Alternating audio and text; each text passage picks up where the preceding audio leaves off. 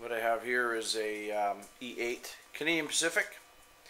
I picked this up at a uh, train show last year for thirty dollars. This thing is like brand new. I think it sat in a box an awfully long time. Anyway, the only problem is I have a uh, looked like a five chime horn on the roof with a, one of the broken uh, trumpets, and I haven't uh, replaced it yet. I need to find out what uh, which one they did use uh, properly at the time this was built.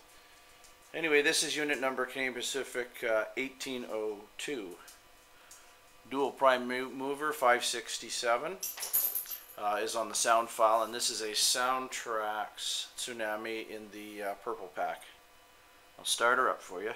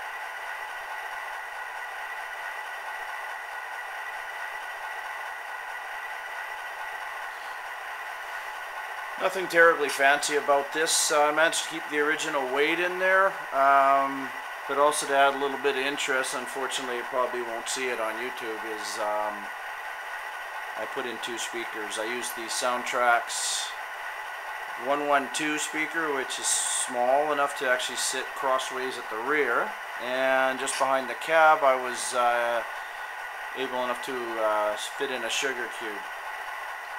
I used also a uh, older golden white uh, LED that I put in for the front headlight. There is no rear headlight or ditch lights on this unit.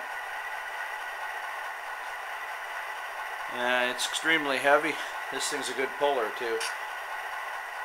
So uh, you've already heard the horn. I went with the 5 chime on here for now and I'll go into JRMI's Decoder Pro and change it when I get the proper horn done.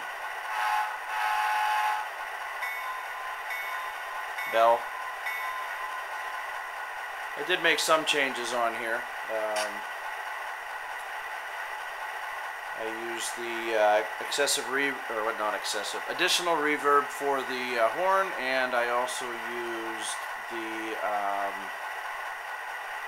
uh, what is it? The equalizer to find the uh, uh, best suited sound uh, dynamics for the speakers and I went with the uh, boombox which is one of the handful of uh, different parameters that sets the uh, EQ for this.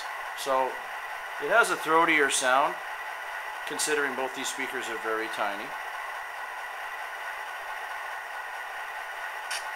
And uh, that's pretty well it. This was uh, one weekend project